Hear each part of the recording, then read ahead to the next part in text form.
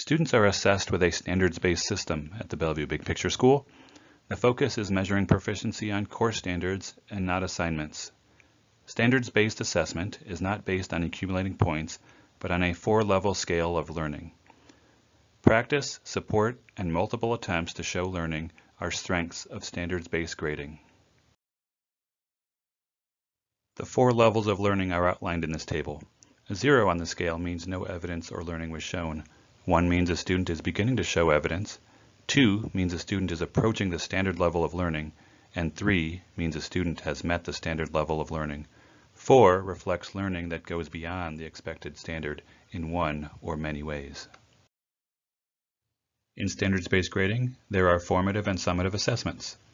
Formative assessments are practice and learning of a skill or knowledge, and summative assessments are demonstrations of proficiency and mastery of the learning standard.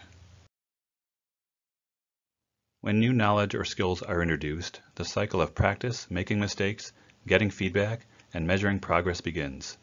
After sufficient time has been devoted to practice and feedback, students have multiple attempts to demonstrate proficiency or mastery of the knowledge or skill. These are summative assessments. This diagram shows how standards-based scores get converted into letter grades reported on progress reports. Each assessment can include one or more standards. Standards of similar skills or knowledge are grouped into strands. Each time a student shows learning associated with a standard, it contributes to a level of proficiency for the group of skills or knowledge or strand. The levels of proficiency of each strand are averaged, contributing to a letter grade for the course. Here's another way of looking at the conversion from proficiency scores to letter grades. This table shows three attempts or assessments of learning, a project, an assessment, and a presentation. Standards 1, 2, and 3 are measured with these assessments.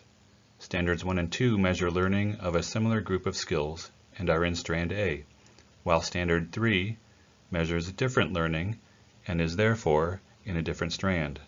The scores for the standards within a strand are averaged to determine proficiency in that group of skills. The strand totals are then averaged together to determine an overall proficiency level and that number is converted to a letter grade with the big picture score conversion table.